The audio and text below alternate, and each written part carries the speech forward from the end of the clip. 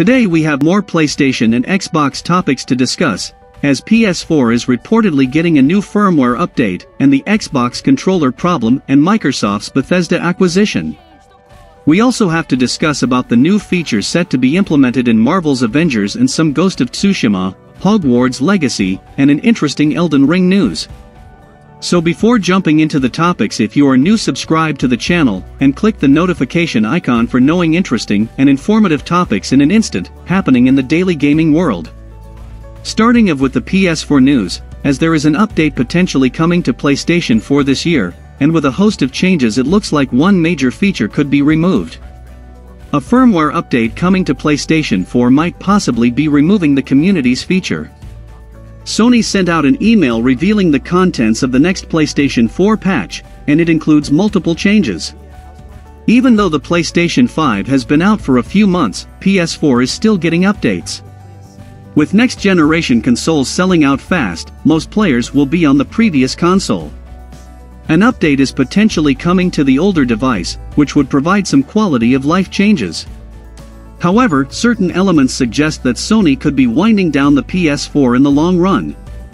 Currently a beta for now, update 8.50 sounds like it could be coming sometime during spring 2021. The main change coming to the console has to do with notifications. For those who are part of multiple groups, disabling message notifications will be possible. If part of the beta, just head into the specific group and open the options to turn off the feature. Another update coming is the ability to truly hide games. Other players will not be able to see games that the user has previously hidden. Listed at the bottom of the patch notes is a quick mention that communities will no longer be available. This feature was a way for players to create meeting zones for a specific game. This way, gamers from all over could join and meet like-minded individuals. However, when the new update comes out the option to create and use communities will not be possible. On the upside, when viewing a game session screen, players can use a new request to join button to form groups without facing bugs. Most fans playing on the previous generation will be happy that PlayStation 4 is getting updates. While there is nothing particularly major coming to 8.50, it does look to make some aspects more tolerable. Those who enjoy playing with others intermittently will have more options to make solo playtime more private. And being able to join a group using the new request button should make multiplayer more efficient overall. That said, there will no doubt be some who are disappointed to learn about communities. With PlayStation 5 having the biggest launch, it seems like Sony could be trying to reduce the social aspect of the older console. Now these players will have to utilize outside methods to gather up for specific game topics. It is possible that the feature is not that popular though, and that could explain why Sony is removing it. Nevertheless, most will know that it is only a matter of time goes before features are phased out on PlayStation 4. Up next, Ghost of Tsushima directors become permanent tourism ambassadors for Tsushima Island, as Tsushima Mayor Hiroki Hitakatsu announces a special honor for Ghost of Tsushima game director Nate Fox and creative director Jason Connell. Following a lengthy development cycle, Sucker Punch scored another major hit when it released the open-world action game, Ghost of Tsushima in July of 2020. Scoring well with critics and fans alike, the title won multiple end-of-year awards and went on to become a bestseller on the PlayStation 4. In addition, Sucker Punch continued to improve the experience after launch, releasing a massive content pack centered around a new co-op experience completely for free. While the game went on to become the fastest-selling first-party original IP, Ghost of Tsushima has also had a significant real-world impact as well. In fact, the Tsushima Island Tourism Board partnered with Sucker Punch, creating a website promoting both the game and the real-world inspirations and landmarks featured. A few months later after a devastating typhoon hit Tsushima Island, a torii gate at the Watatsumi Shrine was heavily damaged. Thanks to the popularity of the game, a crowdfunding campaign to repair the structure exceeded the asking amount of 5 million yen, or around $47,000 by 500%. The shrine was able to pull in over a quarter million dollars from generous fans and others. As it stands, the island of Tsushima isn't yet done with Sucker Punch. Tsushima Mayor Hiroki Hitakatsu announced earlier this week that Ghost of Tsushima game director Nate Fox, and creative director Jason Connell are being named permanent tourism ambassadors. While the ceremony would be held in person under normal circumstances, it will instead be held digitally due to travel restrictions related to the COVID-19 pandemic. Once restrictions are listed, Mayor Hitakatsu plans to invite the entire Sucker Punch team to visit the island. Fox and Connell will be receiving an award and letter of appreciation thanks to their work for helping to spread the name and history of Tsushima to the world in a wonderful way. Mayor Hitakatsu also confirmed that while the title has been given to notable Japanese individuals in the past, this is the first time this recognition has been given to someone who has promoted the island through their work. This most recent accolade is another jewel in the game's already packed crown. While fans aren't sure what Sucker Punch is planning next, many are hoping that Ghost of Tsushima is getting a PS5 upgrade soon. With Sony bringing more of its first-party games to the PC and places like Steam, some fans are curious if this title will also be a candidate for release there as well. But personally I don't like games like God of War and Uncharted going to PC, because Sony should stick up to some of its franchises, to pillar its exclusivity mansion. Controversial Hogwarts Legacy lead designer Troy Levitt leaves Avalanche Software saying that he will explain his departure in an upcoming YouTube video. Although specific details about Hogwarts Legacy are still being kept under wraps by developer Avalanche Software, it is without a doubt that the upcoming game's core concept is something that Harry Potter fans have long been asking for. In its initial trailer, Avalanche revealed that Hogwarts Legacy is an open-world RPG game set in the wizarding world of Harry Potter. However, Hogwarts Legacy soon found itself in the middle of never-ending controversies. It started with players campaigning to boycott the game due to its indirect association with Harry Potter author J.K. Rowling, who continues to draw criticism for making transphobic remarks, followed by the controversial YouTube channel of one of Hogwarts Legacy's developers, lead designer Troy Levitt. Although J.K. Rowling will forever be associated with the Harry Potter franchise no matter how controversial she chooses to be, the same couldn't be said of Levitt, who has now confirmed his departure from Hogwarts Legacy and Avalanche Software. In a series of tweets, Levitt confirmed that he decided to leave Avalanche Software, clarifying that he has nothing but good things to say about Hogwarts Legacy, Avalanche, and WB Games. However, it is worth noting that his tweet did not specifically mention the exact reason that prompted him to leave. Levitt added that he is in the process of creating a YouTube video about the whole incident soon, which will likely address his thoughts on the whole scandal, and what pushed him to leave the development team of Hogwarts Legacy. For the uninitiated, Levitt made headlines last February after Twitter user Liam Robertson, known for his collaborations with Did You Know Gaming, accused Levitt of creating anti-fem and pro-GG vids. In this context, GG is in reference to the Gamergate controversy, which saw its peak in 2014 and included a harassment campaign targeted primarily at Zoe Quinn, Brianna Wu, and Anita Sarkeesian. Browsing through Levitt's YouTube channel, it is clear that many of his videos are about Gamergate and feminism in the video game industry. Other videos include lengthy defenses for John Lasseter, the co-founder of Pixar, who resigned from his position in 2017 after allegations of sexual misconduct. It remains to be seen how extensive Levitt's forthcoming YouTube video will be and whether his departure was truly his own decision, or if Avalanche and WB Games had anything to do with it. It is worth remembering that his recent tweet mentioned that he is in good spirits with WB and Avalanche, so this remains unlikely. At the moment, Avalanche Software and WB Games haven't directly addressed the issue. However, back in 2018, Levitt confirmed that WB Games is aware of his YouTube channel, but it didn't appear to be an issue for them. He also clarified in the same video that this did not mean the company is endorsing his beliefs. Levitt described that the video game publisher is only concerned about making good games rather than pushing a social justice agenda. Moving forward we have another Elden Ring leak points to Dark Souls style online PvP. A few more rumors about From Software's open-world fantasy action RPG Elden Ring have come from a leaker who has had plenty to say about the game in the past. In the wake of a leaked Elden Ring trailer, the authenticity of which is still being debated, fans are curious to know if features from other From Software games will be present in Elden Ring. If the latest leaked information is true, the game will include online PvP elements similar to those of the Dark Souls slash Bloodborne games, and have a class system.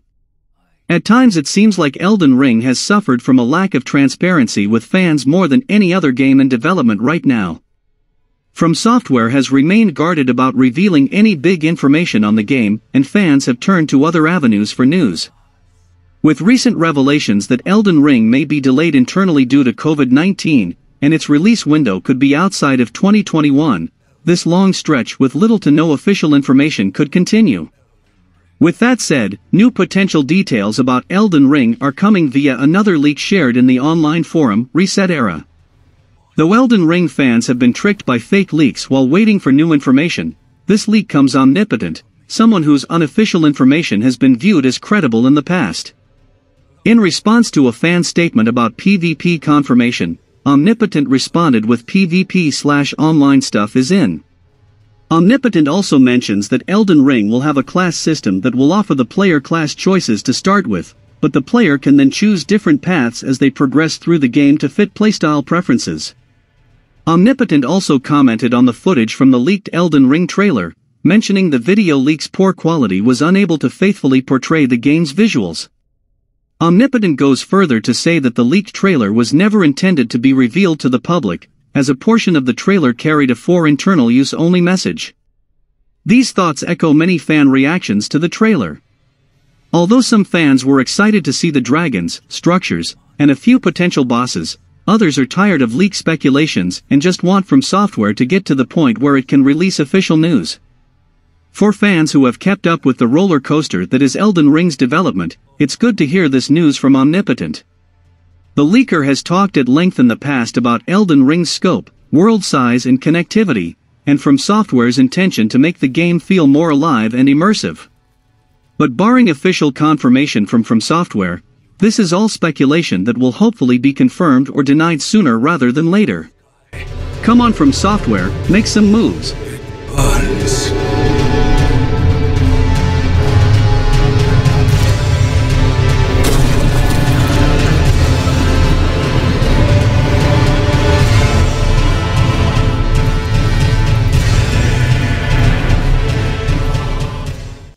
Crystal Dynamics releases a new trailer for Marvel's Avengers that details some of the game's next-generation features on PS5 and Xbox Series X. There once was a point when Marvel's Avengers was going to launch alongside the next-generation PlayStation 5 and Xbox Series X consoles. Unfortunately for those hoping to play the next-gen version of the game, it wound up getting delayed to 2021. Luckily for fans, the wait for Marvel's Avengers on next-gen consoles is nearly over, launching March 18th with the option for existing owners to upgrade for free. Crystal Dynamics and Square Enix have released a new Marvel's Avengers trailer that explains the game's next-gen features. This includes faster load times, which will allow players to load into missions faster, and should generally improve the overall experience. Players will also notice improved textures in the next-gen version of Marvel's Avengers, with the game said to maintain 60 frames per second at 4K resolution. Improved visuals will be noticeable elsewhere in the next-gen version of Marvel's Avengers as well, particularly when it comes to the various heroes' special moves and the environmental destruction. These improvements may be most noticeable when Marvel's Avengers players are playing the game as the Hulk, as his attacks tend to smash everything around him. Those playing Marvel's Avengers on next-gen consoles should be aware that they can still play the game with their friends who have yet to upgrade. Like many other recent multiplayer games, Marvel's Avengers supports cross-gen multiplayer, allowing fans to play together within the same console family. This means that those on Xbox Series X can play with those on Xbox One, and those on PS5 can play with those on PS4. The Marvel's Avengers Next Gen update arrives on March 18th, and it's not coming alone. The Hawkeye DLC will also be available on March 18th, giving fans of the multiplayer superhero game more reason to jump back in. However, the next-gen debut will also come alongside a new patch that has so far been quite controversial in the community. The development team has had a ton of work to do in squashing bugs and improving the overall campaign and online experiences from a technical standpoint. As the title begins to become more stable, it seems like it's now time to turn to more system tweaks that will adjust future character progression and change the way players earn additional cosmetics going forward.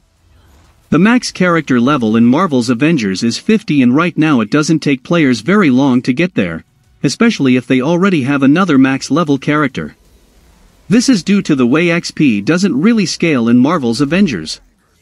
The devs want to change that going forward and really slow down the grind from levels 25 to 50.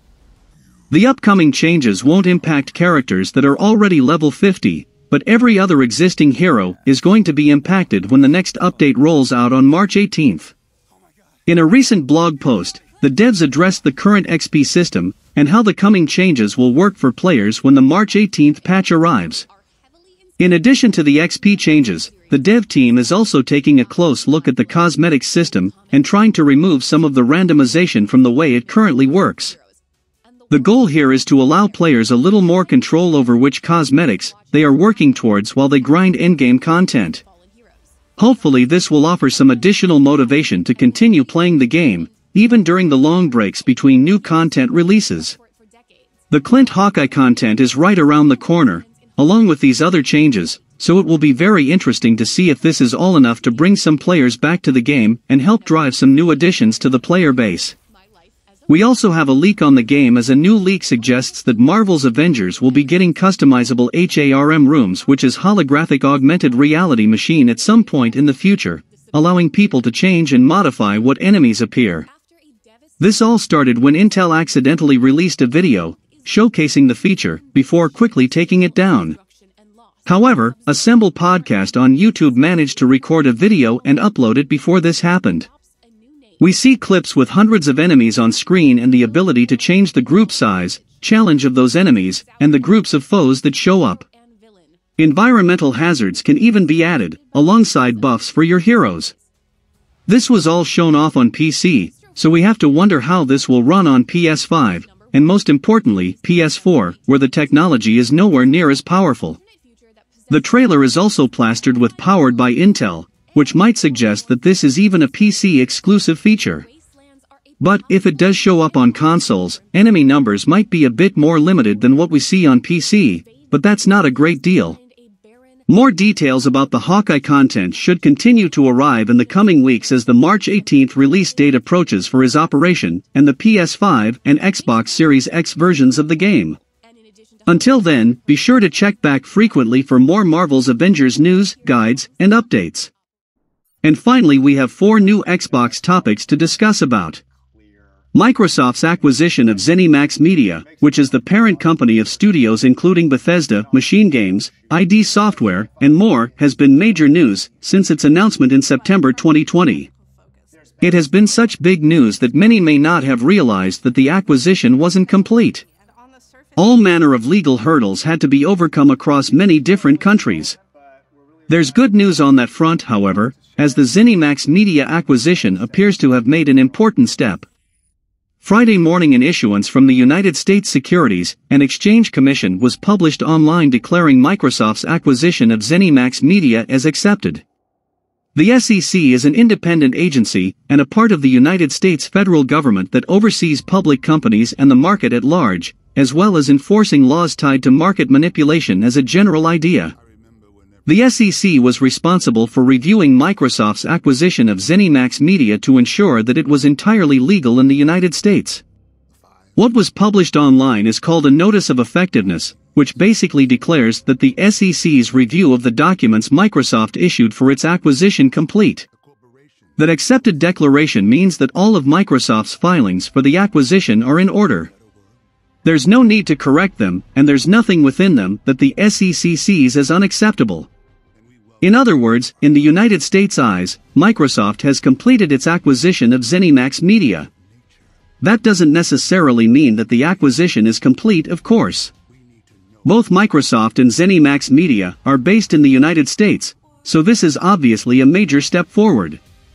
However, other regions and countries still have their own respective approval processes. For example, the European Commission said in early February it would rule on the acquisition by March 5.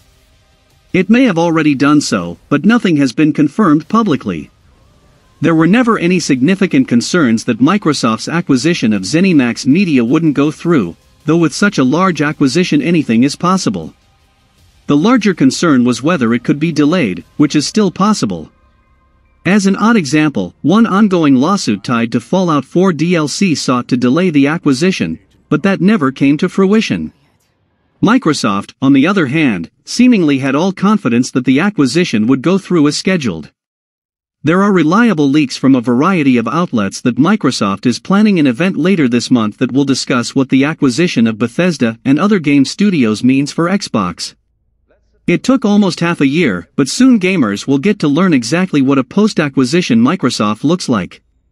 Talking about Xbox, after six years, a new and improved version of the Microsoft Edge web browser app on Xbox consoles is available for early testers to try out and after being temporarily shut down last year, the Xbox Design Lab will return from its hiatus in 2021 and likely this time feature the Xbox Series X and S.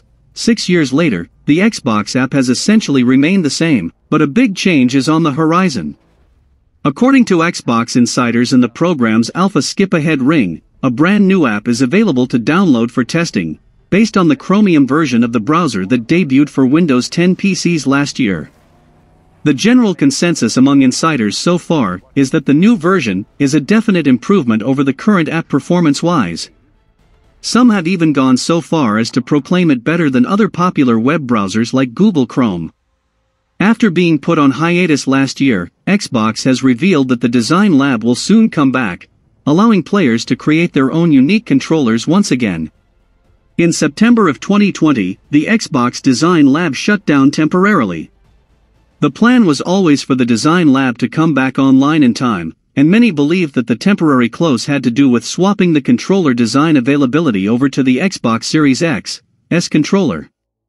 Fans know now that the lab will be back sometime this year. The idea behind the Xbox Design Lab is that players are able to create their own unique style for their Xbox controller. Before the service was shut down, players were able to mix and match the colors of the body, back, bumpers and triggers, D-pad, thumbstick, ABXY buttons, and more. After being put on hold, the Xbox Design Lab will be back again in 2021. A fan reached out to Xbox asking about the lab on Twitter and Xbox responded right back with the good news. On top of that, the Twitter user also mentioned wanting to make an Xbox Series X controller, and Xbox did not sway that thought, which makes it seem even more likely that it will return specifically with the Xbox Series X and S controller in mind. Another thought is that when the Xbox Design Lab returns it could allow players to finally design their own Xbox Elite controller. While creating a special design for the standard controller is nice, many would enjoy the opportunity to have fun with creative colors for the flexible and powerful Xbox Elite controller as well. The old Xbox Design Lab did not allow that. It is almost a definite that the lab will return with the ability to create Xbox Series X and S controllers, but perhaps there is a small chance of the Elite controller as well. Speaking of the Xbox controller, Xbox is reportedly actively investigating the Xbox Series X's unresponsive controller problem, which has plagued some users since launch. The Xbox Series X launch has been relatively smooth, with the biggest issue being availability above all else. However, as with any new product launch, there have been some technical issues that early adopters have had to deal with. While not all of the Xbox Series X launch issues have been deal breakers, one, in particular, has caused fans serious problems, though Xbox is looking for a solution.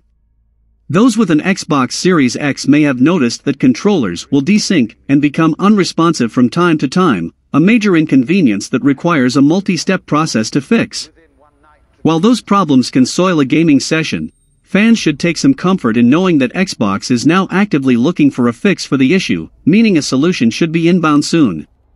A Microsoft spokesperson recently issued a statement to the loadout acknowledging that it has caught wind of the problem. The spokesperson stated that Microsoft puts all of its products through rigorous quality assurance testing to help thwart issues like this, and that the company is actively working on a solution. The Xbox Series X controller hasn't been alone, as the Xbox One similarly experienced controller desync issues. Fans have waited quite some time for the issue to be solved, and it is a bit concerning that no solution has been released yet. For the Xbox Series X, players typically have to completely reset their consoles to solve the problem, and occasionally reconnect the controller to the system with a USB-C cable. It's inconvenient, but until Microsoft has a fix released, fans are going to have to bear with it. Xbox isn't alone in its current controller situation. The Nintendo Switch has suffered issues with Joy-Con drift, which can cause player characters to move without the user making any input on their controller due to wear and tear. The issue has spawned widespread complaints within the user base, and even some lawsuits. The PS5's DualSense controller may have similar issues later down the line, with studies revealing that the controller may only have a lifespan of about 417 hours, which isn't that much all things considered. It's unclear what's causing such major issues in contemporary controllers, though it seems there are give and takes for every platform at this point. On the bright side, those problems are being dealt with, but it's still not a fun circumstance to begin with. Hope soon the companies take some step forward and clear all these controller issues. Therefore until then from SMPV, it's goodbye.